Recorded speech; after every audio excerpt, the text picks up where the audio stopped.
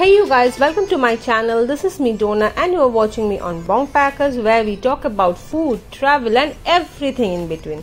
আর আজকে আমরা আছি হচ্ছে শান্তিনিকেতনে। এটা শান্তিনিকেতনের দ্বিতীয় ব্লগ আগের ব্লগে তোমাদের দেখিয়েছি শান্তিনিকেতনে কীভাবে আসবে কোথায় থাকবে কি কি খাবে বাট শুধু এটা করলেই তো হবে না ঘুরেও দেখতে হবে। আর কোথায় কোথায় ঘুরে দেখবে তার জন্য এই এপিসোডটা কোভিডের পরপর আমরা এসেছিলাম বাট ডিউ টু রেস্ট্রিকশনস কিছু কিছু জায়গা বন্ধ ছিল।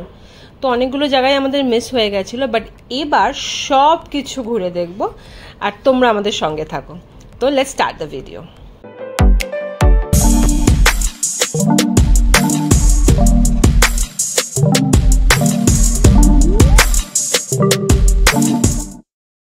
Santiniketan ঘোরার সবচেয়ে বেস্ট উপায় হচ্ছে সকাল সকাল পৌঁছে যাও। ওখান থেকে স্টেশনের বাইরে টোটো, অটো অ্যাভেলেবেল থাকে। কিছু একটা বুক করে নাও। আর বেরিয়ে পড়ো। তোমরা কিন্তু রাইডের সাথে সাথে গাইডও পেয়ে যাবে ওখানে।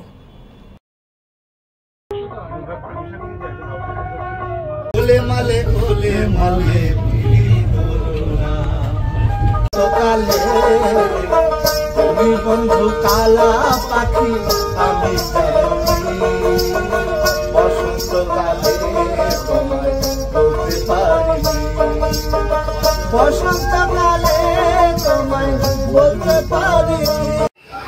এটা আপনার ওই গাছের নিচে ওপেন ক্লাস মাস্টাররা টিচাররা ওই বেদের মধ্যে বসে আর বাচ্চারা আসন নিয়ে নিয়ে বসে ধরুন, এই রাউন্ডের মধ্যে। এই বটবৃক্ষ জায়গাটার নাম তিন পাহাড়। এটা আপনার ওই রবি ঠাকুর যেটা খোয়াই বলে যে জায়গাটা আছে না, ওখানে মর্নিং করতে করতে যেত আর নুড়ি, পাথর, কুড়ি কুড়িয়ে আনতো অনেকক্ষণি পাথর কুড়িয়ে এনে এখানে জড়ো করে তিনটে পাহাড়ের মতন করেছিলেন এখানে খেলাধুলা করতো, সূর্যের তাবলিত কবিতা লিখেছিল, যেটা হলো মানে কুমোর পাড়ার গরুর গাড়ি। বোঝাই করা কলসিয়ারি গাড়ি চালায় বংশীবদন। ঠিক আছে এখানে তিন চার লাইন বাকিটা শিলারতে বাংলাদেশ শিলারতে শেষ করেছিল। এই জন্য এই বক্ষ বৃক্ষ জায়গাটার নাম বলে তিন পার এখানে তিনটে ধাপও করা আছে, দেখুন।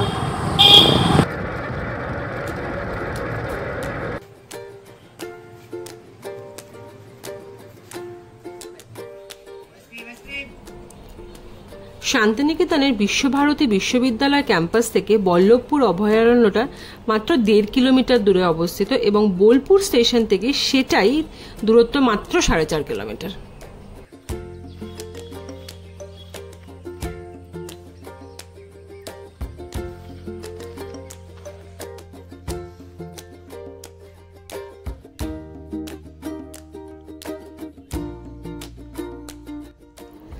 যেহেতু এই অভয়ারণ্যটা বল্লভপুরে অবস্থিত, তাই এর নাম বল্লভপুর অভয়ারণ্য। নাইনটিন ফিফটি সেভেনে এই অঞ্চলটি রিজার্ভ ফরেস্ট হিসাবে ঘোষণা করা হয়, আর তারপরে নাইনটিন সেভেন্টি সেভেনে এটাকে অভয়ারণ্য বানানো হয়।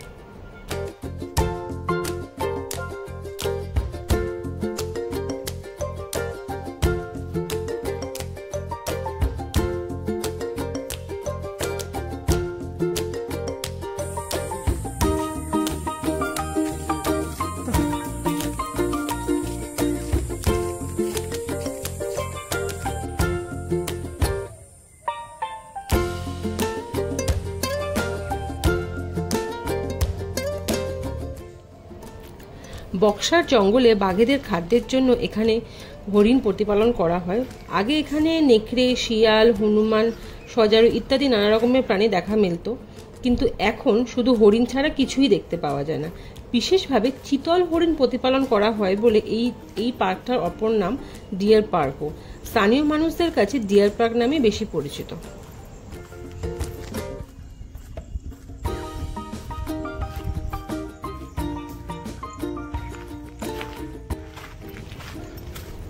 নভেম্বর থেকে ফেব্রুয়ারি হলো এখানে আসার আইডিয়াল টাইম এই পার্কটি কিন্তু সকাল নটা থেকে চারটে অবধি খোলা থাকে বাট এন্ট্রি টাইম কিন্তু সাড়ে তিনটে অবধি।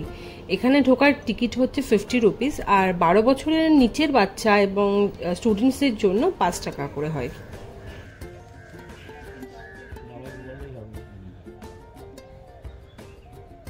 ও, এই পার্কটা কিন্তু বুধবার ক্লোজ থাকে কমপ্লিটলি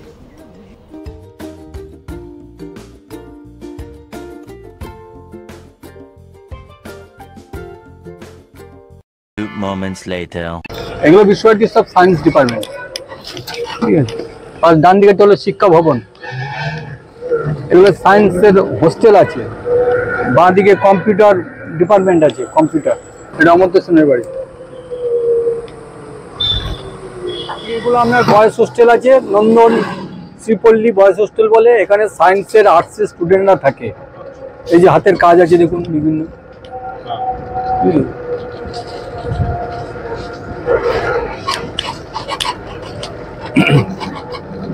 আর ডান দিকেরটা হলো আপনার নন্দলাল বসুর বাড়ি।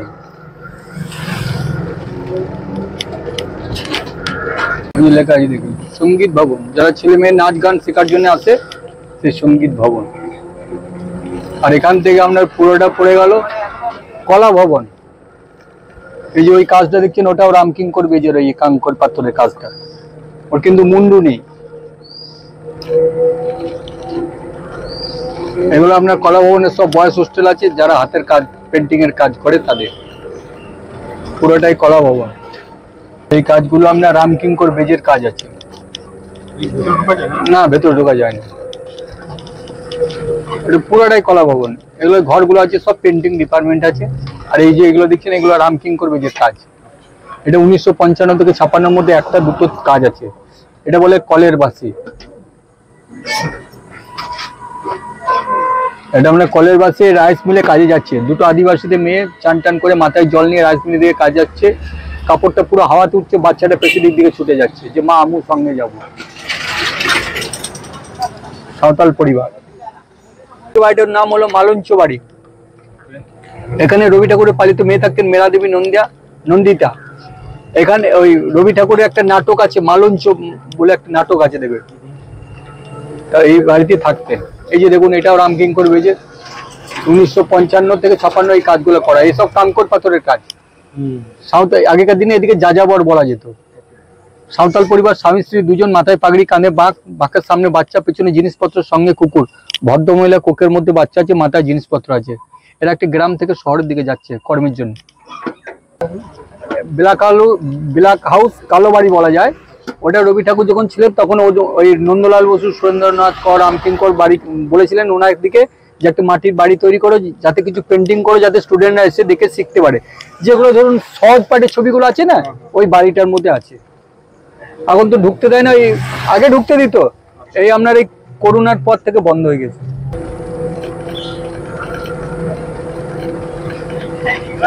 বাঁদিকে হলো আপনার নাট্যঘর। এখানে বিভিন্ন প্রোগ্রাম হয় স্টুডেন্টদের বড় বড় অ্যাডমিশন টেস্ট হয় এদের এখানটা এই হলটা একটাই হল ঘর, ঠিক আছে? আর এই যে এই কাজটা দেখছেন, এটা আপনার লোকাল মানে এখানকার কলাবনের স্টুডেন্টরা বানিয়েছে, ঠিক আছে? মেয়েরা, ছেলেরা মিলে, এটা আপনি ইগলু টাইপের ঠিক আছে? কলা ভবনের লোকাল ফরেনার স্টুডেন্ট মিলে। এটা হলো হলো নন্দলাল বসুর আট কলা ভবন, ঠিক আছে? ওই যে পিলারটা দেখছেন, ওটাও একটা আর্ট আছে, নন্দলাল বসু। ওই যে, ওটাও একটা আর্ট। ওটা যেটা আমরা সা রে গা মা পা ধা নিশা বলে আছে, দেখুন আটটার মধ্যে। ওইভাবে করা আছে। আর এই বাঁ দিকে বাড়িটা হলো রবীন্দ্রনাথের মিউজিয়াম, জামা কাপড়, গাড়ি, বাড়ি, ভেতর যা আছে, জামা কাপড় টাপড় যা আছে, প্রাইজ আছে এর ভেতরে। এটাই হলো মিউজিয়াম। এই মিউজিয়ামের প্রবেশ মূল্য হচ্ছে সত্তর টাকা করে।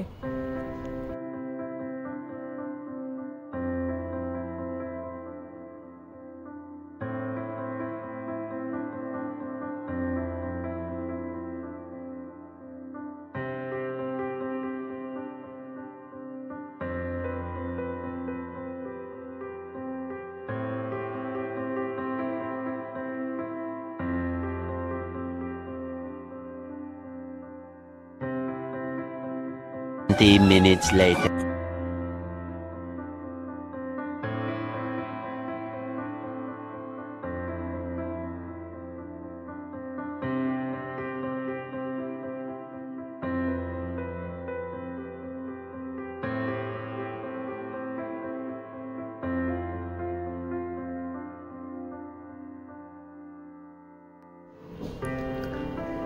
কবি মৃত্যুর এক বছর পরে উনিশশো বিয়াল্লিশ সালে জুলাই মাসে এই রবীন্দ্র ভবনটি প্রতিষ্ঠিত হয়। আসলে এই মিউজিয়ামটি বিশ্ববিদ্যালয়ের কেন্দ্রবিন্দু। ঠাকুরের তৈরি বিভিন্ন পাণ্ডুলিপি, চিঠিপত্র, পেন্টিং, স্কেচের বড় সংগ্রহ এখানে রয়েছে। এখানে কবি ব্যক্তিগত লাইব্রেরিও রয়েছেন। তার ব্যবহার করা বিভিন্ন ধরনের বস্তু, তার ভয়েস রেকর্ডিং বিভিন্ন সময় পাওয়া সম্মান এবং সম্বর্ধনা সবই এখানে সংগৃহীত রয়েছে।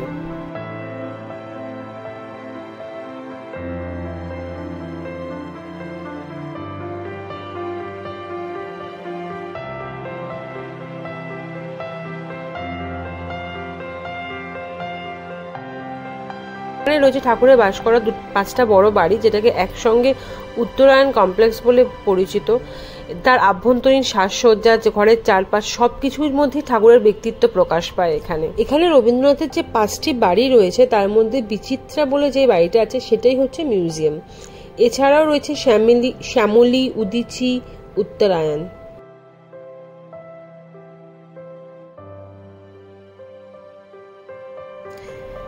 নাইনটিন থার্টিনে পাওয়া নোবেল প্রাইজটি কিন্তু ঠাকুরের এখানেই সংগৃহীত রাখা ছিল, যেটা পরে দু হাজার চার সালে এখান থেকেই চুরি যায়।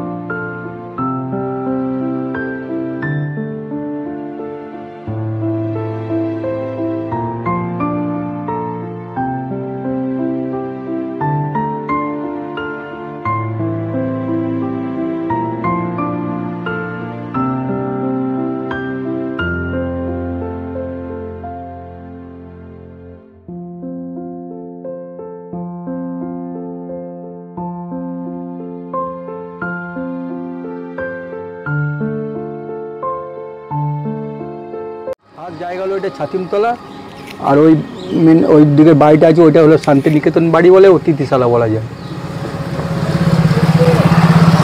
এটাই আমরা শান্তিনিকেতনের প্রতিষ্ঠা জায়গা। মহীশূর দেবেন্দ্রনাথ ঠাকুর। এবং রবি ঠাকুর ছোটোবেলায় খেলাধুলা করতেন, কবিতা লিখতেন, এসব করতেন আর কি এই জায়গাতে বসে। তারপরে আপনার ওই পুরো পরিবার নিয়ে এই বাড়িতে উঠেছিল, বাল্যকালে রবি ঠাকুরকে নিয়ে এই বাড়িতে উঠেছিল।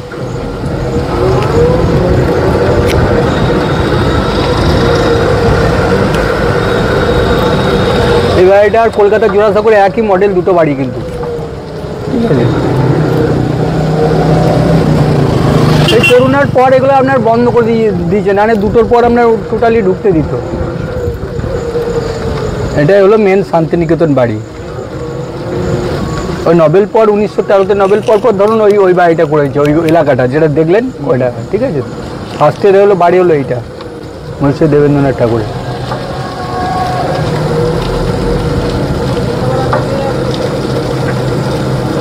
আর এটা হলো ব্রাহ্ম সমাজের উপাসনা মন্দির, যেটা রবি ঠাকুর বুধবার বুধবার প্রার্থনা করতেন। এটাই। রঙিল কাচের তখনকার দিনে এই কাঁচ, টালি এখানে পাওয়া যেত না, এগুলো সব ইতালি থেকে এনেছিল। যখন এটা তৈরি করেছিল। তো এখানে কোনো ক্যাম্পাসের মধ্যে, কোনো ইউনিভার্সিটির মধ্যে কোনো পুজো পাঠ হয় না।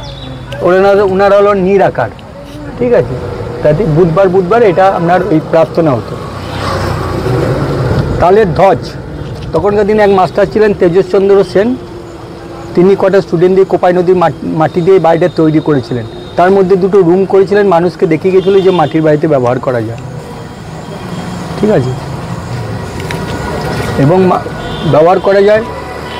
এবং রবি ঠাকুর, এই তাল গাছটা দেখে একটা কবিতা লিখেছিলেন। তাল গাছ এক পায়ে দাঁড়িয়ে সব গাছ ছাড়িয়ে উঁকি মারে আকাশ বলে এই কবিতা লিখেছিলেন। এই জোড়াসাঁকোতে বসে।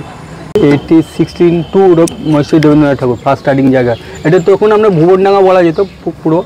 আর এই যে স্বাধীনতলাটা দেখছেন, তখন এই জায়গাটা মোটামুটি চোর ডাকাতের আশ্রয় ছিল, মানুষকে কেটেও পুঁতে দিত। আর এই জায়গাগুলো আপনার রায়পুরের জমিদারদের জায়গা। ঠিক আছে? এবং উনি যখন ফার্স্ট এসেছিলেন, তখন আপনার ওই তারাশঙ্কর বন্দ্যোপাধ্যায় লেখক আছে না, ওনার বাড়ি গেছিলেন লাভপুর। ওখান থেকে ফিরে জমিদারদের বাড়ি গেছিলেন। ওদের বাড়িতে খাওয়া দাওয়া করেছিলেন। তারপর বলেছিল এই জায়গাটা কাদের? বলেছিল আমাদের। তা বলে কিছু জায়গা দিন আশ্রম করব। তখনকার দিনে ধরুন, ওই কুড়ি বিঘের মধ্যে জায়গা নিয়েছিল লাল রঙের একটা ভেতরে বেদ আছে। ওখানেই কনভোকেশনটা হয়। প্রাইম মিনিস্টার এলে। উনিশশো চৌত্রিশ সালে ইন্দিরা গান্ধী এসেছিলেন। দশ থেকে এগারো মাস এখানে ক্লাস করে গেছিলেন। হিন্দি ক্লাস তারপরে চলে গেছিলেন। এটা হলো হিন্দি ভবন, এখন পরবর্তী ওইটা বিল্ডিং আছে, ওইটি হিন্দি ভবন। আর এটা হলো বিশ্বভারতী মেন গেট এটা কোনো ওকেশনে খোলা হয়, তাছাড়া বন্ধ থাকে।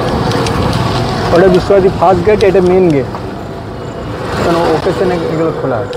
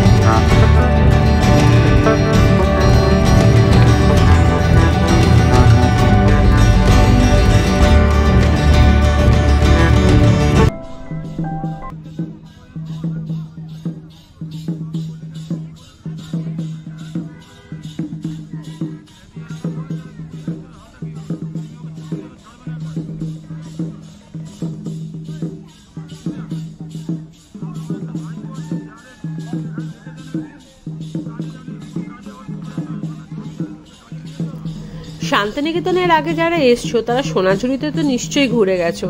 কিন্তু যারা আসনি, তার জন্য থাকল আমার আগের ব্লগটা যার লিঙ্কটা আমি ডেসক্রিপশন বক্সে দিয়ে দেবো। তোমরা কিন্তু একবার গিয়ে অবশ্যই দেখে নিও। সেখানে ইন ডিটেলসে সব কিছু বলা আছে অ্যাবাউট দ্য হার্ট কী কী শপস আছে, কখন কখন যাবে সব কিছু অবশ্যই একবার চেক করে নিও।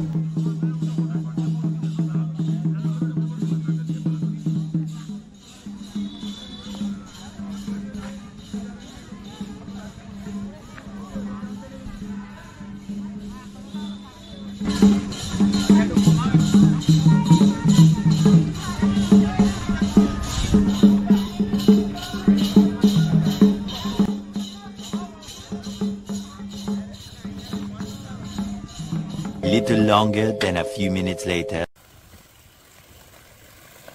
The next morning.